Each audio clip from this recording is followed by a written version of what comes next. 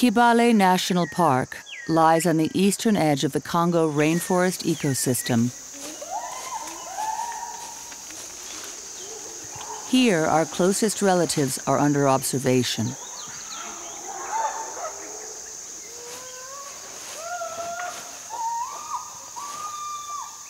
Chimps. Who doesn't love chimps? I've been here since 2016 when I was a student.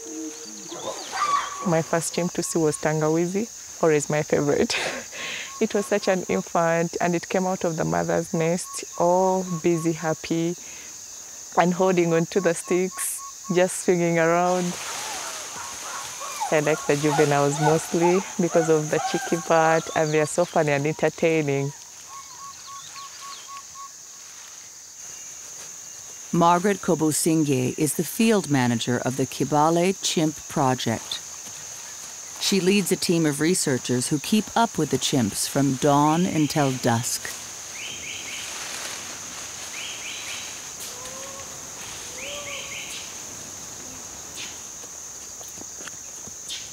Every detail of their lives is recorded. Who's grooming who? What they eat. And where they go.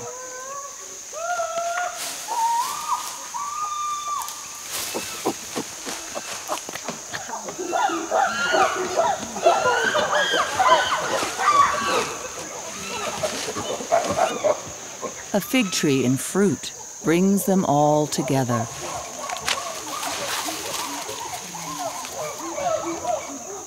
Chimps are fast eaters, consuming up to 10 figs a minute. And they can eat for up to eight hours at a time. By feasting on these fruits, they provide an invaluable service for the trees helping to spread their seeds across the forest. If you're keen enough to double check, you see that within the dung there are seeds that are left. So this is the chimp's dung. As you can see, we have some seeds in here. They can move miles away from one feeding tree. And that means they can potentially take some seeds with them in a different location.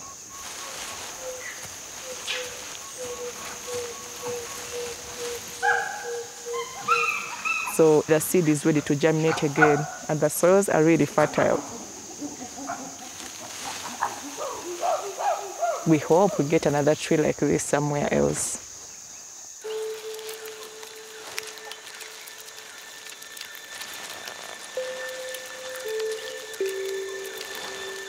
Animals like chimps are critical to the health of the forest. Yet across the whole of Africa, less than 250,000 remain. Here in Kibale, protection is making a difference. Kibale National Park is the primate capital. The monkeys, the chimps, the numbers keep increasing. This gives us so much joy. As long as we keep the forest intact, they have a home to belong to, they have a home to stay in.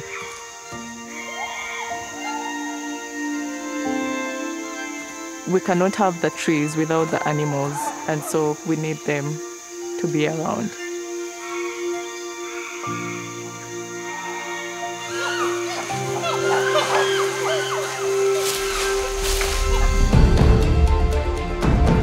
The Congo rainforest is home to some of the largest trees on the planet.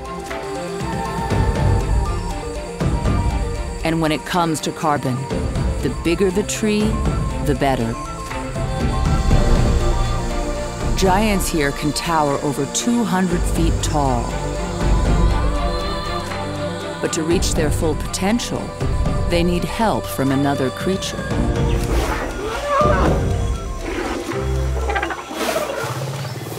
Forest elephants are nature's gardeners. Smaller than their savanna cousins, they still eat an incredible 400 pounds of vegetation per day. mostly the shrub layer that's easy to reach,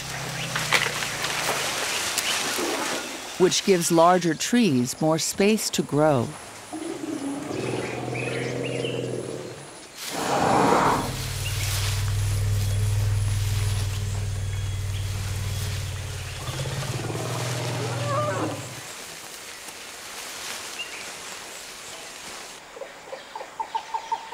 There are over 10,000 animal species in the Congo rainforest. They're all part of a complex web of life that keeps the ecosystem working.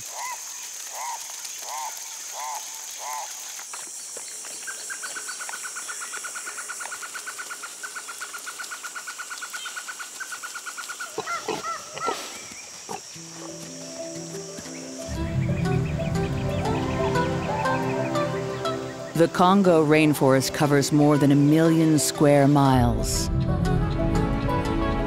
It is so large, it influences the climate across the entire region.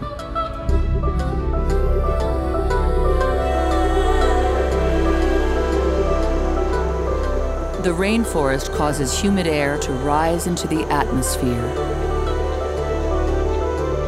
forming rivers of cloud that transport billions of tons of water north. Where it hits the Ethiopian highlands as rain. Feeding rivers which sustain some of the driest regions in Africa.